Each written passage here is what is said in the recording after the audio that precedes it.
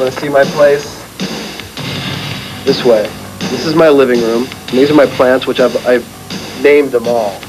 They each got their own name. They're each named plants.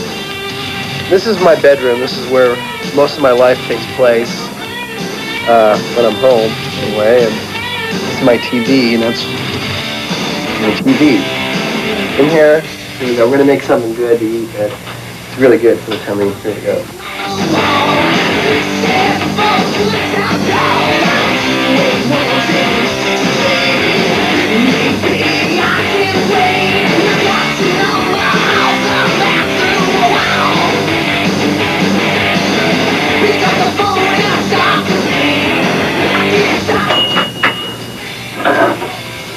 Mmm. Homemade pizza in a flash.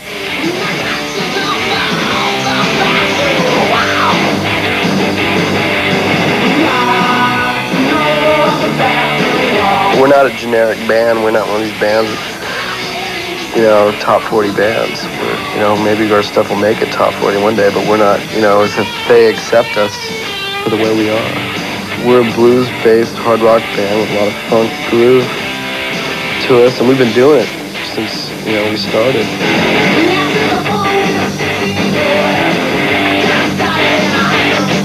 Playing rock and roll for a living is pretty much like the feeling you got, you know, the last day of school when you were a kid. When you don't go to the last three classes. Yeah, you didn't have to be anywhere anymore, and you know, no one was going to tell you what to do anymore, and you could run around, and, and you just had that feeling in your stomach, like, yeah, here comes summer.